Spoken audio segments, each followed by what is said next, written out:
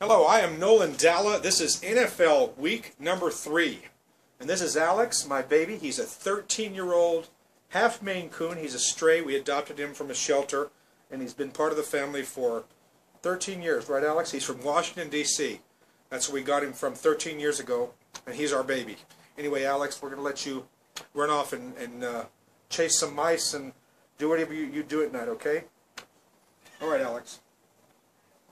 Anyway, I'm here to talk about NFL Week 3. This is the first time I've done anything like this. As you know, I do a lot of videos, and I um, have yet to do anything about NFL handicapping on video, but I'm going to start doing it hopefully every week, as long as I have the energy and money and wine. By the way, today's uh, uh, video is, is, is brought to you by an Argentine Malbec, one of my favorite wines, and this is Septimina. It's a really, really excellent um, full-bodied Malbec from Argentina. So to you and to victory and to winning in NFL week number three. Now NFL week number two, I just assume forget it, but I won't. I'm not going to hide from anything. I'm not going to say, oh, let's just forget about that. Let's brush it under the rug, because that's not what I do. It's about honesty. It's about integrity. It's about showing the wins and the losses and the misery and the humiliation that goes with NFL betting and sports betting, because that's really what it is. And last week I went three wins and 11 losses. Three wins and 11 losses. Try to top that. Try to beat that. See if you can beat that. Lost about $4,000 betting on NFL football. One of my worst weeks ever. So I said to myself, while the rest of the world is off licking their wounds, while the rest of the world is crying over all of their losses, while the rest of the world is pretending the misery didn't happen, Nolan Dalla looks straight into the camera and says, this is what happened. I went 3 and 11. It was painful. It was rough. It was expensive. Anyway, let's get back to NFL week number three. Brand new week, brand new bankroll. Still got lots of money left to fire. And let's see if we can roll a few sevens. There's 14 games in the NFL this week. Uh, 10 are played in the early, uh, the early games. Then there's three later games plus a Sunday night and a Monday night game. I'm giving you this report uh, on on Friday night. The Tampa Bay Atlanta game was last night, so it's already been played. Let's look at how handicapping goes and what we look at when we examine uh, NFL wagers. The first game on the board is San Diego is playing at Buffalo. Now, Buffalo is laying minus one in this game. This is a wonderful spot for the Buffalo Bills and a horrible spot for the San Diego Chargers, who are the dog. Why? Well, San Diego's coming off a, uh, a remarkable performance, their best game in probably a couple of years, where they beat the defending Super Bowl champions Seattle Seahawks at home. A huge victory, confidence builder for the Chargers. Now they have to somehow rebuttal that enthusiasm and go on the road through three time zones and go into Buffalo, New York, and win there on the road. I don't think it's happening. Buffalo is 2 0 right now, laying only a point. That's a very generous line. This line, probably in my view, should be at least at least two and a half and probably three. And that's because these are two, in my view, very closely matched teams. I think Buffalo may be for real. This may be a 500 team. This may be a playoff contender, winning on the road in week one in Chicago, and then that's not an easy thing to do. And then coming back and playing and just demolishing Miami in week number two. San Diego could be 2-0 as well, but they're 1-1. They're going in into a horrible spot. Give me the Buffalo Bills minus one. I think there's a value all over that wager. Buffalo Bills minus one. Dallas Cowboys are going into St. Louis, and Dallas is a surprising one and one after a horrible opening against San Francisco. They go into Tennessee last week and win. I think 26-10 was the final. A, a, shocking final score because I think everyone had given up entirely on the Dallas defense, and the Dallas defense played their best game in I don't know a couple of years, uh, and and and Tennessee just just stank. Now Dallas has to now go on the road for the second straight year, uh, week. I always like fading teams that have to go on the road two straight weeks in the NFL. For whatever reason, it's not an easy thing to do. It's not easy to regurgitate your game plan after a road win or loss. It doesn't matter, but you got to go back on a plane and play in a hostile environment once again. Now, St. Louis, not the most hostile environment, not the best team. That is a seven and nine squad from last year. It's also a Jeff Fisher coach team with a very good front four. And I think that's the key to this game. Dallas's offense has played very well, especially running the ball. I, I, let me stand corrected. Dallas's rushing game has played very well this season, not the offense so much. They've run the ball uh, uh, in both games very, very well.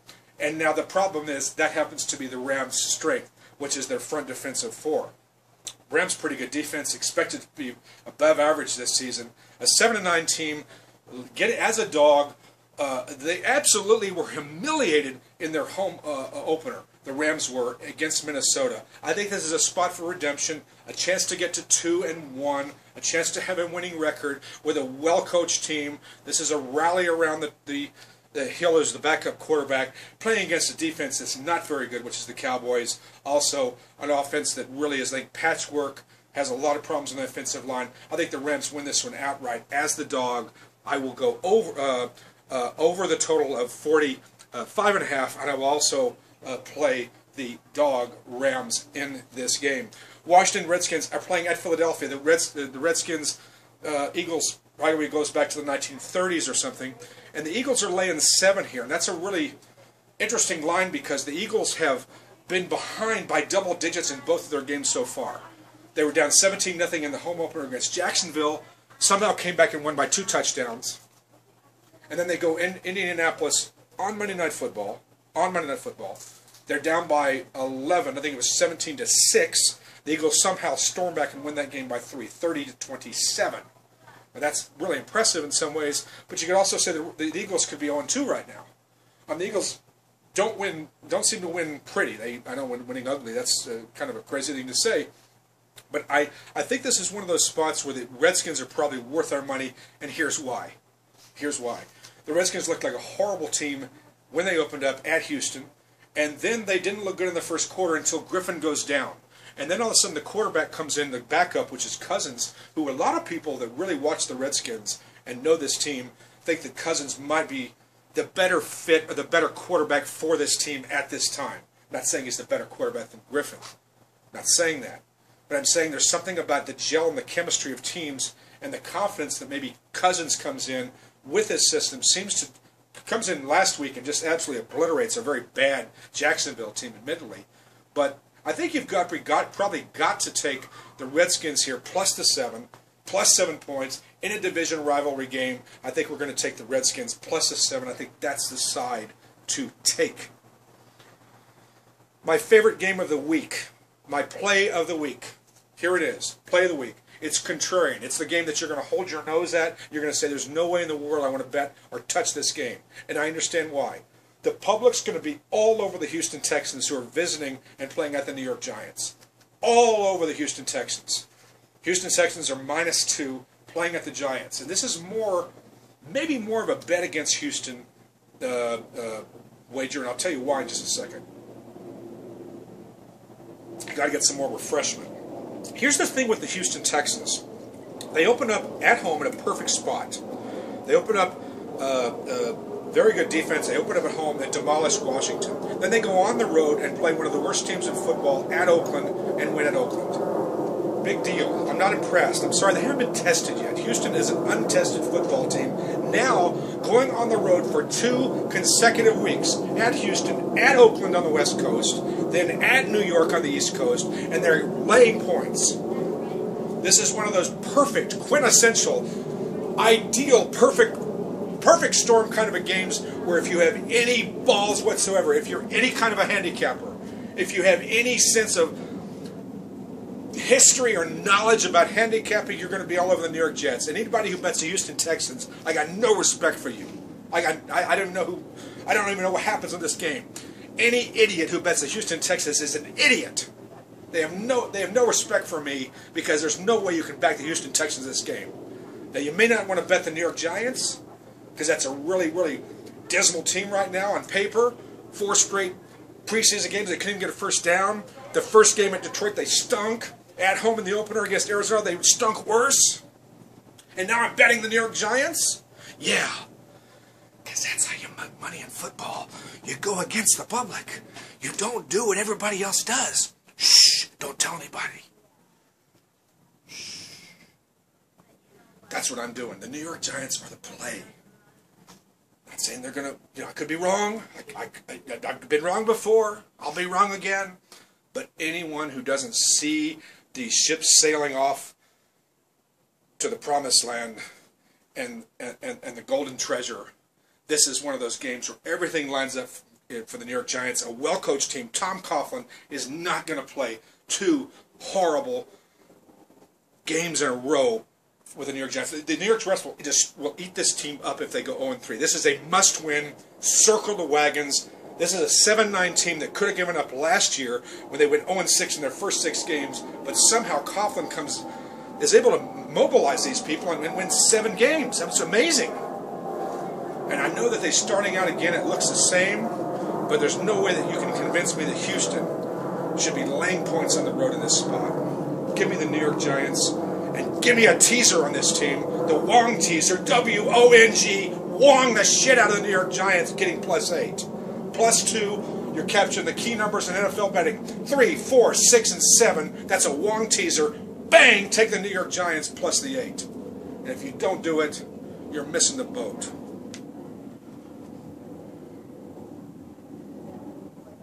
I'm out of breath. I want no piece of that Minnesota New Orleans game. No piece whatsoever. None. Maybe I'll play the over. Just because it's in a dome, it's on carpet. The Saints' offense is gelling. The Saints can't stop anybody. Looks to be like a 37-31 kind of a game. I may play the over. But those the totals, I, I actually do much better in totals and sides, which I don't know why I'm doing all the prognostication on sides. That being said, I think this game may fly over the total just because of the obvious reasons. I know Adrian Peterson maybe come back to the offense, blah, blah, blah. I can just do all that. I don't want any piece of a game where I'm having to lay 10 points. Almost no situation will I ever do that in football. And it's 9.5, 10. Maybe I lean minus 9.5 for the Saints. Maybe. Saints could be 2 0 right now. Saints could be 2 0. They lost two very close games. They can't win on the road, but they were 8 0 at home last year. 8 0. You don't win in New Orleans. Nobody does except the Saints. Let's get to the next game. Tennessee Titans are playing at Cincinnati. How in the fuck can figure out the Tennessee Titans winning at Kansas City, and then they they they play at home, and you think they're going to beat Dallas or it's going to be close, and Dallas just walks in and just stomps on that team, just stomps on the Titans. It was a disgrace. Holy shit! How can you how can you hold your head up? How can you like you know how how do you live on? I mean, good night, Titans. Wake up! Are you serious? I don't want any piece. This is a Jekyll Hyde team I've ever saw. I have no idea what's going to happen, who's going to show up when with the Titans. You just can't trust the team. There's certain teams you just don't even want to touch, and the Titans, in my view, are one of them, at least at this stage of things. Now, with the Cincinnati Bengals, I am tempted, tempted to take the bait, take the bait, and just and just take the uh, lay the seven. I probably want to tease this down though. I'll tease it from seven down to one. Wong teaser, catch the seven catching the six, catching the four, catching the three. And that's what I'll probably do with the Cincinnati Bengals. A very good defense. Winning at Baltimore week one. Week number two, destroying Atlanta. Now at home for the second consecutive week. Cincinnati does not take this game lightly. They will win the game. I'm willing to lay minus one on the teaser with the Bengals. If there was a coach of the year right now, I probably would vote maybe Buffalo, but I'd probably vote for the for the, the Cleveland coach. This is a team that could be 2 0 right now, upsetting the Saints at home, almost beating the Steelers on the road. Everybody thought this team would be garbage, would be horrible. That's what everyone thought about the Cleveland Browns. And, and, and every one of their games are exciting. They've only played two, I know, but this they look good in preseason. So, you know, Hoyer seems to, to, to be playing well. They had they'd lost their wideouts they had all kinds of defensive problems, and somehow this team looks very looks very competitive. They're very exciting to watch. I, I I'm kind of this closet Cleveland Brown Browns fan in, in a way. Uh, I think this is a really bad spot though for the Browns. I just sitting there did the dance and drank the Kool Aid on the Browns, and here I am because I'm going to bet the Ravens. And the reason is the Ravens are laying ten, laying a point and a half, I believe, on this game, and they've had a ten day rest. And man, I don't like drinking the Joe Flacco Kool Aid. I don't like doing it. This team always seems to disappoint me and burn my fucking bankroll to a fucking crisp. Just to a crisp. Every time I bet on the Ravens on the road. They just fucking rape me. They just destroy me. And I can't believe I'm betting the Ravens again, but I probably am going to lay the the uh, the minus one and a half with the Ravens. I think the Ravens just had too much lumber for this team. I think the Browns have played over their head. Give them all the credit in the world. Applause, applause, applause. I think the Ravens, though, coming off to that after that 10-day rest, the Browns coming off a huge victory. I think I think the Ravens get get have enough to get it done here, and they and they, they probably just have too much talent for the Browns. Give me the Ravens minus the point and a half. The Green Bay Packers are playing at Detroit, and this has been a funny line because I think it opened at Green Bay was getting two and a half. I think it's one now, so it's dropped about a point, point and a half. Of course, everybody's going to bet the Packers. Of course, everyone is going to bet the Green Bay Packers. And by the way, I'm one of those idiots who actually thought that maybe Detroit's going to, you know, for real, idiot me, they go on the road and get their fucking asses stomped at Carolina last week. They didn't even show up. The team, anybody on that team, the Detroit team who collects a paycheck should be fucking like, they should be tried for, for, for theft. That was disgraceful what the what the, the Lions did last week. But they are a different team at home. I don't really like the side so much here. I lean Lions. I'm one of the few people, again, leans the Detroit Lions. I think this is their arch rival. They're going to get up at home. Big game for the Lions. Can't believe I'm backing a Caldwell coached Stafford quarterback team. But I, I, I, believe the better play here is probably to bet the over, and that's 51. This total is 51 points. I think they're going to throw the hell out of the ball. You're going to see both quarterbacks throw 50 times. It's going to be an aerial show. We're looking at a 38-31 kind of a game. Either way, I, I, I, think the total of 50 or 51, 52, excuse me. I still like over 52. I, I go up to 54 on this. I go up to 54. I go any, over any number lower than 54. I think these teams have a historic uh, history of playing overs. I don't have numbers. I, I do this all free, you know, free form. But I, I, do believe if you look back, you'll see over, over, over, maybe a few unders, but you see a lot of overs, especially in Detroit on that rubber grass that always seems to be a faster track. I hate that rubber synthetic turf kind of stuff they play with their child. Can't stand those fields because all they do is promote offense. I don't I don't like that at all. I like, I like low scoring football games. They're easier to handicap. Indianapolis Colts at Jacksonville. Here's another spot. Another spot. Just if, if you're still with me, if you're still with me, listen to what I'm about to say. This is one of those things that if you have any self-respect as a handicapper, if you know anything about football, you're going to take the you're going to take the Jacksonville Jaguars in this game, and I am holding my nose and saying that, and I'm putting a blindfold on because it's hard to watch that team. Henne has looked fucking dismal, and the, the Jacksonville Jaguars look to look like like shit for for for seven of eight quarters. They were up 17 nothing at Philadelphia week one, 17 nothing, and they haven't done shit since then. They had a, they, they they scored one touchdown, I believe, in the rest of the whole fucking uh, uh, seven quarters. And they're playing Washington and uh, Philadelphia. Those are not the best defenses in the NFL. That's disgraceful. But I think the Jacksonville Jaguars here at home, they're going to have this. Is like one of those things again. They're 0 2. They know that to have any kind of a season that's any that, that has any semblance of being successful or positive, they have to be competitive in this game at least. They have to win the game, yes, but they have to be competitive. And let me say this: anytime I can, anytime I can fade the Indianapolis Colts or a team like that, laying a touchdown on the road. Are you kidding me? Who in the hell would bet on the Indianapolis Colts laying a touchdown against anybody? Are you serious? Who in the hell would back the Colts laying anything more than a field goal, let alone a touchdown? I realize the I realize the Jaguars are fucking awful. That's an awful team to watch. It's painful. I'm sitting there watching the team and I'm screaming at the television. I can't stand to watch any. It's it's it's horrible. It really is. But I will say this: that if you have any, if you have any knowledge about betting pro football, this is one of those games you just have to hold your nose and say, "Give me the value." The value is with the Jackson, uh, Jacksonville Jaguars plus seven. Give me the Jaguars. Whew.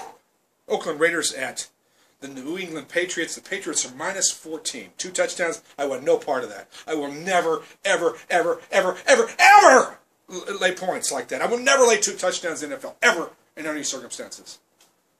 I'm trying to think of an, exa- of an exception. There probably is one. I can't think of it right now. I will never lay that kind of touch. I will just won't do it. I'm tempted to take it, but not after what I've seen from Carr. This, I, I, I don't, I don't want to get into. You know, he maybe. I, it's too early. He's only played two games. I don't see what I don't see what the Raiders are seeing in this quarterback. I don't know why they're not starting Schaub. Schaub at least makes them like semi-competitive. You know, there was talks about the Raiders have a pretty good rush deep, deep uh, offense. They have a fairly good defense with with some leadership at quarterback. Whatever, maybe they could be a seven and nine team. They got no shot with Carr right now. I wasn't impressed at all. Any any sports writers out there talking about I'm seeing progress with Carr. Uh, the, the, the, the, this is the brother of David Carr who played at Fresno State. Well, they must be watching a diff, different uh, screen than I'm watching because I'm not impressed at all. But I'm not going to touch this game. I may I may lean under, by the way. Oh man, this is one of those games. This is one of those perfect games that lines up for an under. This is a perfect game that lines up for the under. Why? Well, here's why. Because I'm not so sure that the Patriots take this game that seriously. I expect this is what they call a, a, a situation or a recipe for an ugly win.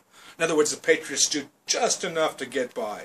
They just show up and win a I'll make up a score here, 27 to 10 game. You know, just maybe a really ugly game where they win 16-10. They just they just there's really nothing there to motivate that team to like put it all and just blow the team out. I know that happens sometimes, but there's really nothing to indicate here except that it's a home opener, except that after two straight games on the road for the Patriots, they are now opening at home.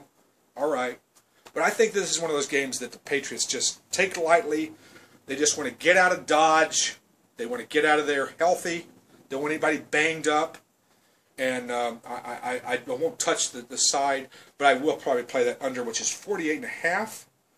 I stand corrected 47 now. It's 47. I still play probably play that game all the way down to 45. I'll go under that total. Anything down above 40, I should say, all the way up to 45. San Francisco at Arizona. Give me the Arizona Cardinals as the home dog here. Are you kidding me? They're getting two and a half. Give me the Arizona Cardinals. No one seems to have any respect for the team ever. No one has any respect for this team that won 10 or 11 games last year. They're 2 and 0. They beat San Diego. They beat on the they won on the road against the New York Giants last week. They're 2 and 0. Nobody has any respect for them. Anytime I can fade Colin Kaepernick as a passer, I'm thrilled to do that. We saw the man, you know, basically self-destruct last week. Three interceptions, a fumble, and a 15-yard personal conduct penalty, all in a half of football. Way to go, Mr. Kaepernick. I just love watching that. That was a sweet victory for the Bears. And so I don't, I don't really, you know, San Francisco is only the, maybe the best team on paper in football. Maybe better than the Seattle. I really believe that extraordinary offensive line. By far the best wideouts in the game. The best rushing game probably in football. And maybe the best defense and certainly one of the best coaches in the NFL. So why isn't this team like steamrolling everybody and winning, you know, going 14 and 2 every year? Well, they've been in the championship game, you know, uh, conference championship three straight years. I give them credit, but I just don't think there's a lot of character and the leadership of this team with Ka Kaepernick uh, under center. I'm always glad to fade him on the road. When he faces any kind of adversity, any kind of pressure, he folds like a cheap suitcase. And Arizona is the perfect opponent on the road to get under his skin. And I think this is a very, very tough game for the 49ers. Boy, I wish the 49ers were 2 0 right now because then I would just hammer the Cardinals to win outright. But now the, the 49ers are a little more they are a little more. They're going to be focused. There's no question that they're going to. They're not going to take this opponent lightly on the road. But everybody in the public seems to take this this, this team lightly. That nobody seems to have any respect for the Cardinals. This is one of those turn the corner games, I think, for this franchise, this organization. And I think the Cardinals, again, they win this game and go 3 0. You could be looking at a team that, I don't want to say wins this division, but now uh, threatens to win the division. Mark my words. Arizona wins this game. This is a team that's capable now of winning, surprisingly, the NFC West. Mark my words. Next game is Denver at Seattle, a game that nobody cares about, right? It's only the Super Bowl rematch, and I couldn't give two shits about this game, except for the total. I like the under. It's 48 and a half. This is a tough place to play in Seattle. It's a tough place for any opposing offense. It's always a tough place to play for the opposing offense. The crowd noise, the elements, whatever that situation is, it's not an easy place to, to, to score points.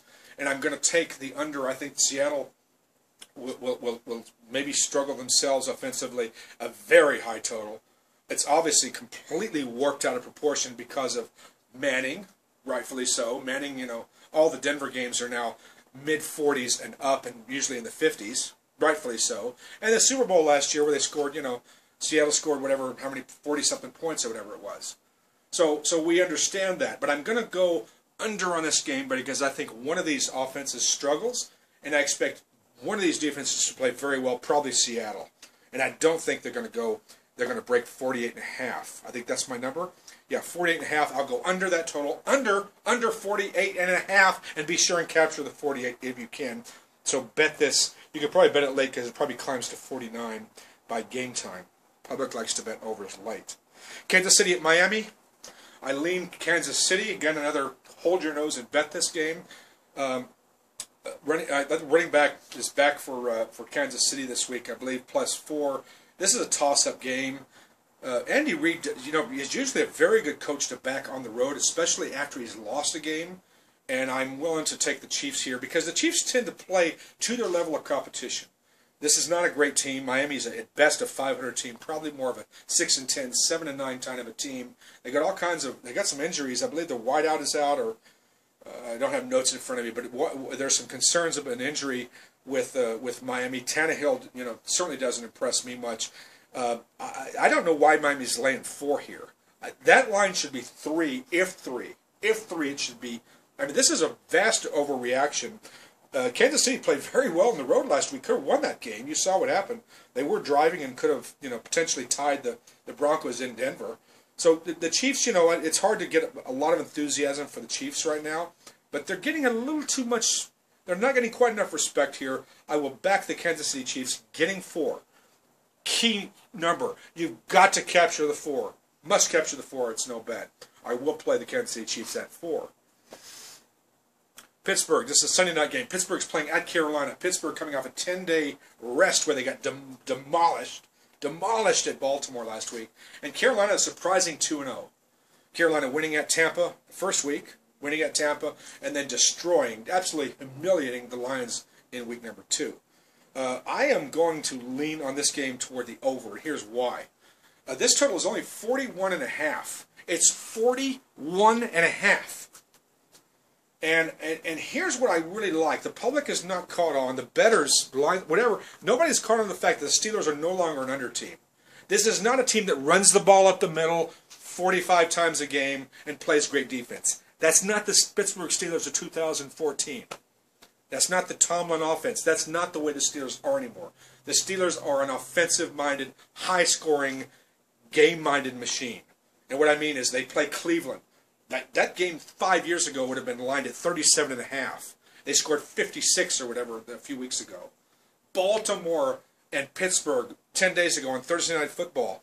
I forgot the final. Didn't they score 50 in that game or something? I mean, these are high-scoring games.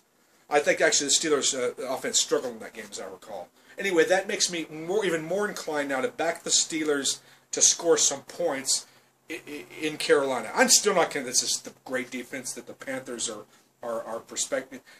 They played nobody so far. You know, they, they, they, they won at Tampa Bay. Detroit, for whatever reason, didn't show up in that game. There was they couldn't do a they couldn't do a fucking thing. The Lions couldn't. And I'm not, I'm totally not convinced the Panthers are really the two and zero oh team that they uh, seem to be. I'm not taking the Steelers. I just won't do it. I, I don't like the, any. I want any part of the Steelers who are at best maybe a 500 team, but I do like the over. I think this game sails over. I think it's a 27-20 kind of a game. I think it flies over 41 and a half. This game I easily, especially on Sunday night football, it's a night game. Night games always go over by about three or four games of points higher than average. Total NFL mean total is 42 and a half, somewhere in there, 43ish. The average Sunday night game and Monday night particularly, those games are landing in the mid to, to, to high 40s all the time. I mean, you just just go back and look because the stars want to shine, man. The wide receivers want to make that extra yardage. They're playing in front of their peers, the excitement, the home crowd, whatever. Defensive scores. Night games go higher than average. Almost always give me the over, which is why I'm taking the Pittsburgh Carolina game to go over the total on Sunday night, as I'm taking the Monday night football game, which is Chicago Bears at New York Jets, to go over as well. That's another over and there's a lot of compelling reasons to like that as well. Uh, that's a 45 and a half. 45 and a half on the Chicago at New York Jets Monday Night Football game. I like the Jets minus one. I like the Jets minus one. I also like the over 45 and a half. Here's why. The, the Chicago Bears played at San Francisco last week and lost, I think it was five or six defensive starters. I think three of them are out for, are out for this game. This is Friday night. I could be wrong on this. By game time, things change. But I, the Chicago's defense was decimated by the in that victory. Decimated. And now they're going to be, you know, the, Jets, you know, not, not, the most powerful offense, but they did score like 27 at Green Bay last week. I'm going to. I think this is a breakout game for the New York Jets, an absolute breakout game where all the dominoes line up for that team, kind of like the Atlanta Falcons we saw last night, where they scored 56 unanswered points. This is a statement game for the New York Jets to say we are here, we are have arrived. This is this is where everything lines up for that franchise, and they're a Monday Night Football, a rare thing for them. When we saw Geno Smith playing it at, at a game at Atlanta last season, I think it was week four or five, Falcons were laying nine or ten, I forgot the number, and Geno Smith looked like he looked like Joe Namath out there. He threw four touchdown passes, he threw for 400 yards. He, it was amazing, and there was something about that atmosphere where this team rose to the occasion. They weren't they weren't expected to do anything, and they played extraordinarily well. I think this home team in this situation against a banged up defense in Chicago, a banged up team that also tends to score a lot of points. The Bears do. They rack up a shitload of yards. And with obviously with Hester and with Jay Cutler's throwing 45 balls a game. So we, we're seeing a spot here where the, the much like the Steelers, people think Pittsburgh Steelers defense, Chicago Bears defense. This is not 1986, folks. That's not the way it works anymore. These are two very offensive-minded teams. The line that's not caught on. Give me, though, the New York Jets and a statement, minus the one. Give me the Jets, uh, and also give me the over 45 and a half. I expect the Jets, if you call out a score here, I look 31-17 kind of a game here where the Jets pull away with a victory. I'm Nolan Dalla. That's NFL week number three. We'll see how you do. We'll see how I do. Good luck, and may all your victories be uh, sweet as wine. Thank you.